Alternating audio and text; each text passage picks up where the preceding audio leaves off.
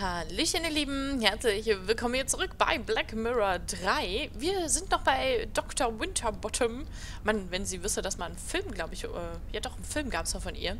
Wenn sie das wüsste. Aber wir müssen uns noch ein bisschen umsehen. Ich weiß noch, wir haben ein paar Sachen übersehen. Oder einfach nicht mehr geschafft, letzte Folge. Ob da meine Gesprächsprotokolle auch mal drin landen? Eventuell. Ach ja, die awesome Stehlampe. Ähm... Eine schöne Couch. Die berühmte Psychiater-Couch hatte ich bis jetzt immer für einen Scherz gehalten, aber es ist eigentlich ganz angenehm da drauf. Und sie ist nicht rot, mein Lieber, ne? In den grünen Heften notiert Dr. Winterbottom die Träume ihrer Patienten. Aber außer mir habe ich hier sonst noch keinen gesehen. Merkwürdig. Ja, du bist der Knaller des Jahrhunderts, mein Darren. Mensch, Mensch, Darren. So, was ist denn jetzt noch mit ihr? Ich habe gerade keine Fragen an Sie. Habe ich mir schon gedacht. Ob da meine Gesprächsprodukte... Okay. Meine Adoptivmutter hatte auch mal so eine Lampe. Ich fand es als Kind immer lustig, mich darin zu verstecken. Was? Das funktioniert ehrlich? das hätte ich wohl auch mal machen sollen.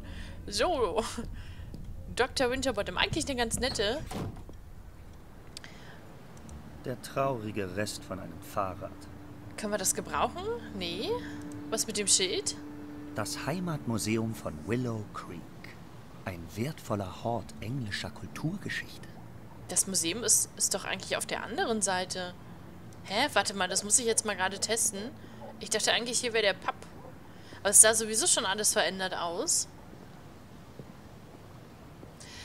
Ach, ich verstehe. Hier hinten, Richtung Pub. Ja, stimmt. Dann war hier früher, hier war früher ein Jahrmarkt. Wie cool. Ja, hier war am zweiten Teil der Jahrmarkt. Dann ist das genau umgekehrt. Das ist ja verwirrend. Hallo, die Damen. Da kann ich mich immer noch hinsetzen, wenn ich alt bin. Ist auch gar kein Platz mehr da, Darren.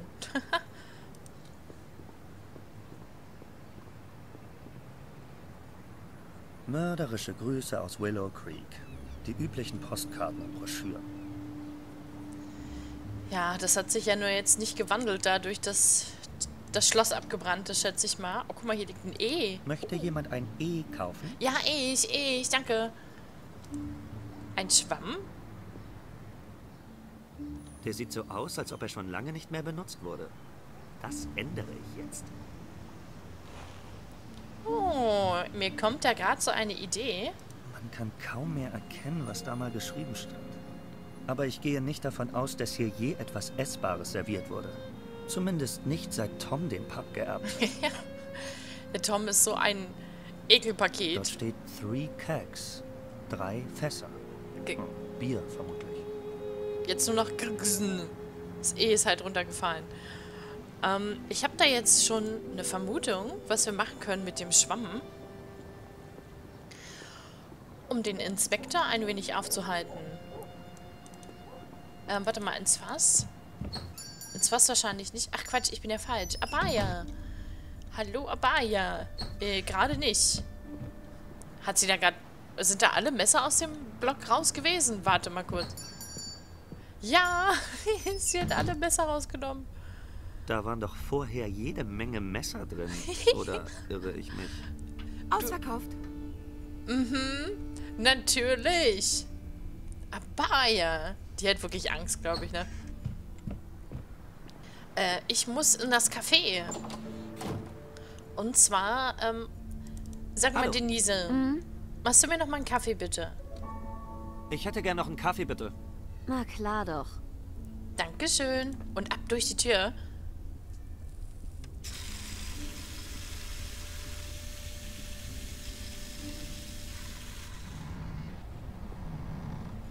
Und hier ist genau der Wischeimer. Oh, bitte lass das funktionieren.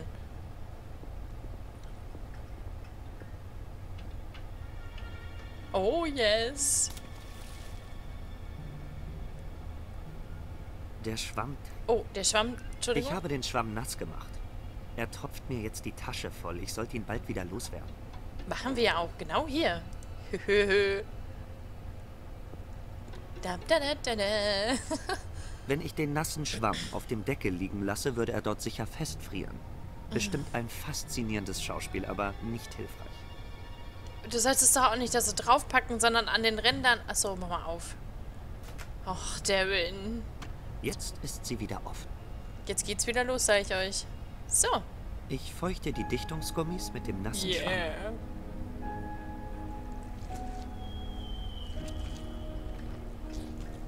Wenn man nun die Kühltruhe schließt, friert das Wasser und es wird fast unmöglich, den Deckel wieder zu öffnen, ohne das ganze Ding abzutauen.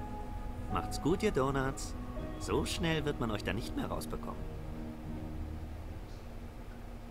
Damit dürfte sich die Donutlieferung an den Herrn Inspektor etwas verzögern. Etwas.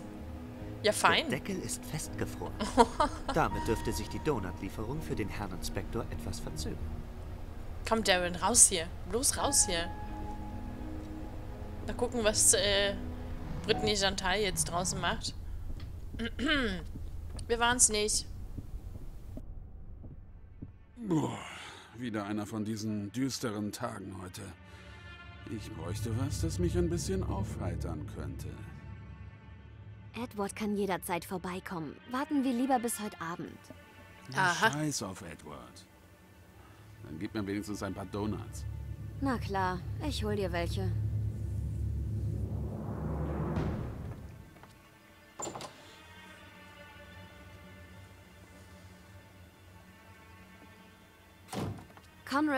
Ähm, deine Donuts sind dummerweise in der Tiefkühltruhe. Und? Dann schmeiß sie doch kurz in den Ofen. Das Problem ist, der Deckel ist festgefroren. Aha, verstehe. Du willst, dass ich dir helfe, der Kühltruhe einzuheizen. Oh Gott. Ich denke mal, die beiden sind ein bisschen länger beschäftigt. Der steht also auf die Denise. Ähm, mit der Tab-Taste kannst du die Cutscene überspringen, aber Vorsicht, du, ja, wichtige Informationen könnten verloren gehen. Machen wir auch nicht. Ähm, wir wollen auch nicht telefonieren. Wir gehen jetzt mal, oder gehen wir erst zum Pub? Ach, ich weiß nicht. Wir haben noch ein bisschen was zu erkunden. Ich bin ganz erschrocken, der Herr Inspektor mit der Denise. Mann, Mann, Mann. Eingang Museum, zum Hotel, zum Wald. Oh, gibt das... Es gibt richtig viel. Hier hängt ein Plakat. Wir bauen für Sie um. Demnächst noch spektakulärer. Erleben Sie das Grauen hautnah. Wiedereröffnung am 1.12. Hm. Das ist erst in ein paar Tagen. Werden wir wahrscheinlich gar nicht mehr erleben, Ich wer möchte weiß. mir erst meine Akte ansehen, bevor ich das Dorf verlasse. Okay. Zum Wald willst du dann wahrscheinlich auch nicht, Ich ja? möchte mir erst meine Akte Na. ansehen. Okay, gut, dann wieder rüber. Jetzt, wo der Inspektor ja beschäftigt ist, können wir wahrscheinlich wieder rein. Aber wir gehen jetzt ja erstmal kurz im Pub gucken. Das ist Toms Pub. Ich denke, er ist immer noch etwas angefressen, weil ich ihn im Sumpf versenkt und ihm das Auto geklaut habe. Das hat er aber auch voll verdient. Darren, tu mal nicht so, als wäre das, äh, ne? Das hat der junge Herr verdient. Sind das Toms Unterhosen, die da zum Lüften hängen? äh, nein. Lappen. Die sind nicht besonders sauber, aber von Toms Pub würde ich auch nichts anderes erwarten. Gut, dass ich bei Ah. meinem letzten Besuch Bier aus der Flasche getrunken habe. Ja, da war wahrscheinlich die Flasche dreckig. Die Fensterscheiben sind mit Buntglas beklebt. Da kann man nichts erkennen. Man kann Buntglas, man, dann ist das doch eine Folie, dann ist das doch kein Buntglas, sondern. Ach, egal. Gehört bestimmt einem Angler. Jetzt sind hier, an, also in Black Mirror 2 gab es hier auch schon genau einen Eimer. Den konnte man aber mitnehmen. Na dann, den Constable, den kriegen wir da vielleicht auch noch weg. Ich hoffe jedenfalls. Puh, lasst uns mal in der Polizeistation schauen. Constable ist schwer beschäftigt mit der Notrufzentrale. ähm, die Akten. Eigentlich sind doch hier die Akten. Constable. Constable Zack scheint in Ordnung zu sein. Sehr gesetzestreu und so. Und so. Was soll ich denn kopieren? Ja, deine Akte. Die wahrscheinlich irgendwo liegt, aber ich weiß nicht wo. Jedenfalls nicht hier. Freiwillig gehe ich da nicht mehr rein. Dann haben wir jetzt ein Problem, Darren. Deine Akte. Ach, du sprichst doch mit Constable? Kann ich kurz etwas fragen?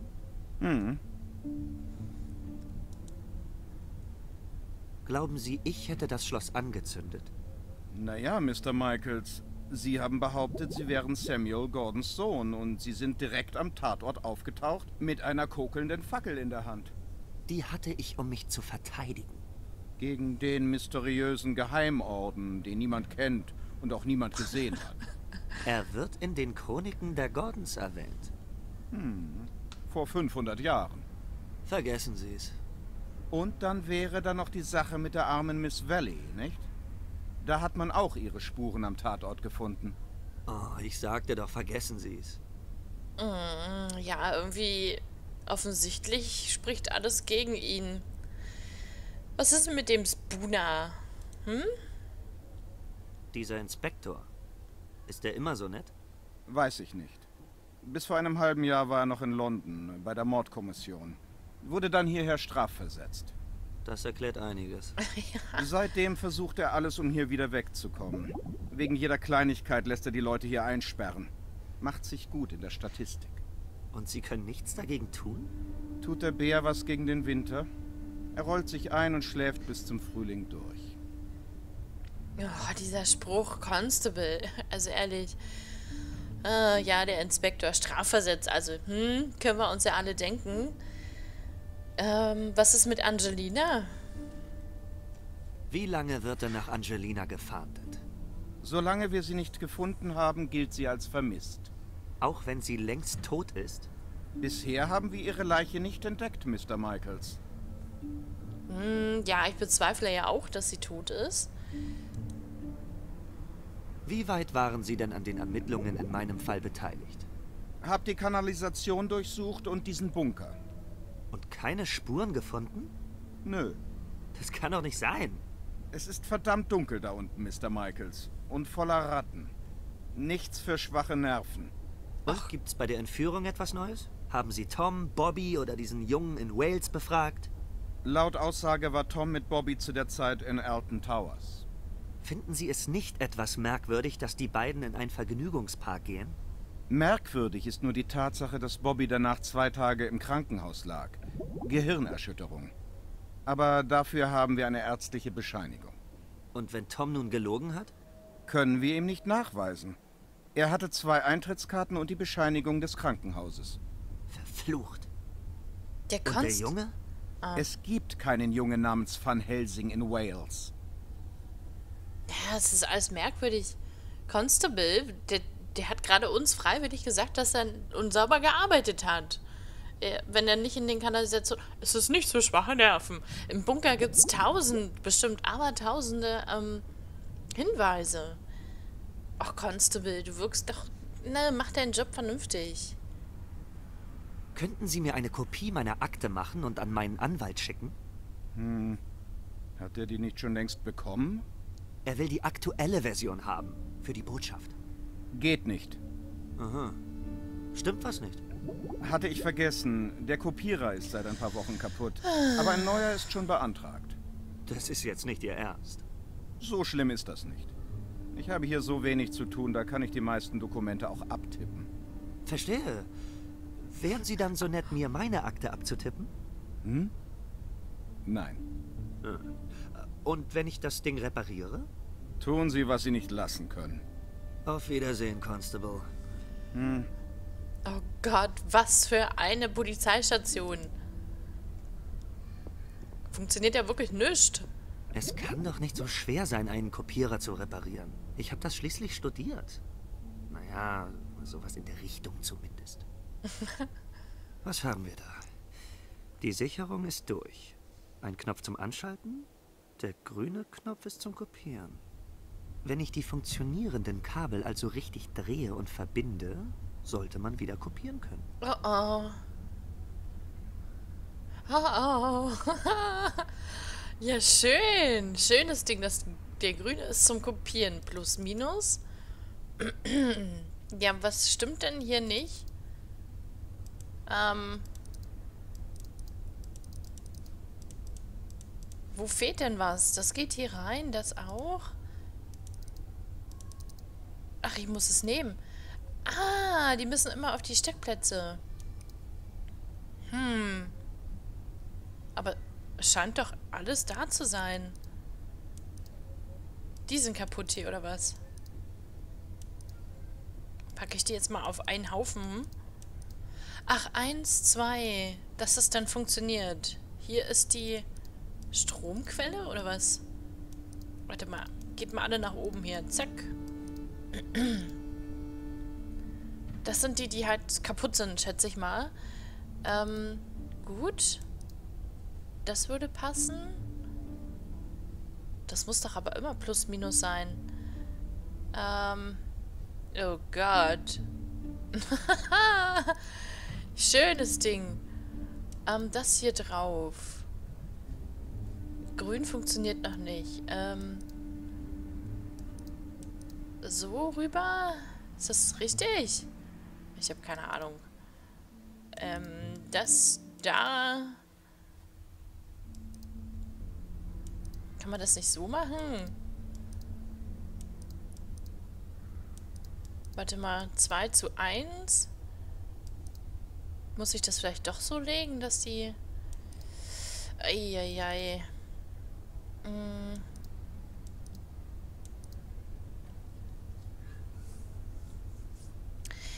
Ja. So ganz mag ich es nicht verstehen. Ähm. Oh, was? Das hätten wir. Ich glaube, ich habe es übersprungen damit, oder? Kann das sein, dass ich das übersprungen habe? Och nee. Verflixt, das sah so aus wie, ne? Ich drück mal den Knopf und dann ziehe ich den Hebel für die Sicherung. Aber das erschien mir jetzt nicht richtig. Oh, wenn ich es übersprungen habe, tut's mir leid. Kann ich kurz etwas fragen? Hm. So, jetzt auf jeden Fall funktioniert der Kopierer halt wieder. Der Kopierer funktioniert wieder. Hm? Könnten Sie mir jetzt meine Akte kopieren? Klar, ich schicke die Kopie dann an Ihren Anwalt. Äh, hä? Die Kopie Ihrer Akte. Achso, ähm, die kann ich auch selbst verschicken. Der Inspektor besteht darauf, dass keine Akten unbeaufsichtigt das Gebäude verlassen dürfen. Verstehe. Hm. Scheiße. Ist doch seine Akte. Constable, Hm? wann geht denn die Post raus? Mein Anwalt braucht die Kopie so bald wie möglich. Ich werfe sie nachher in den Briefkasten. Sie sollte heute Nachmittag abgeholt werden. Danke. Auf Wiedersehen, Constable. Hm. Er freut er sich, ne, Constable? Jetzt hast du mal was zu tun. Na dann, einfach mal raus.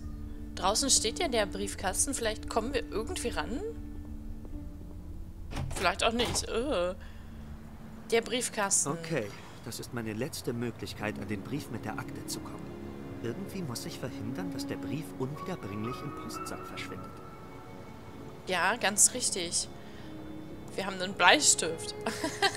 so der wohl kaum was. Hm.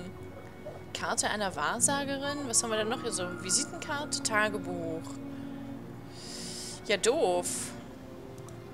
Das Fass. Irgendwas mit dem Fass? Ein Fass. Ja. Ui.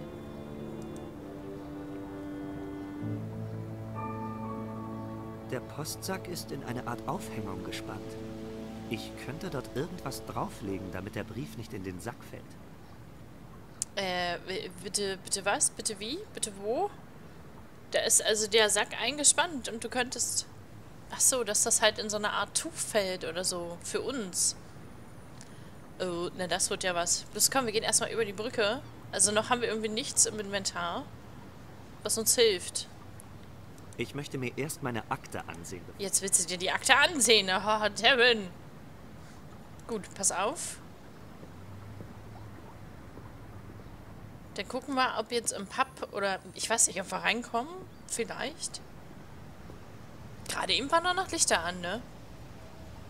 Da gehe ich erst wieder rein, wenn ich den schwarzen Gürtel in Karate habe. Oder der Pub den Besitzer gewechselt hat. Ach ja, das wäre was, ne? Das wäre was. Man kann kaum mehr erkennen, was da mal geschrieben stand. Aber ich gehe nicht davon aus, dass hier je etwas Essbares serviert wird. Mhm, ja, ja. Wir können auch nicht raus, nichts an der Seite. Gut. Jetzt werden die Möglichkeiten begrenzt. Die Damen, haben sie gerade zufällig ein Tuch dabei? Ich weiß nicht, vielleicht ist die Servierplatte, die wir haben... Warte mal, ich schau gleich mal. Ich weiß gerade nicht, wie groß sie sind. Hier ist noch das Telefon.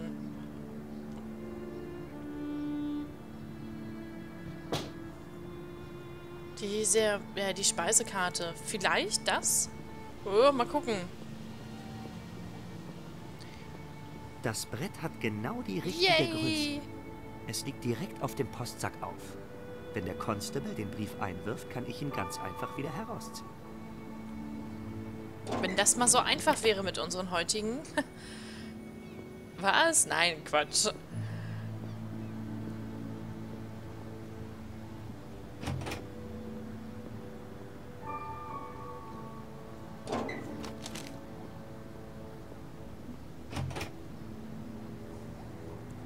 So, und jetzt schnell ran an die Beute.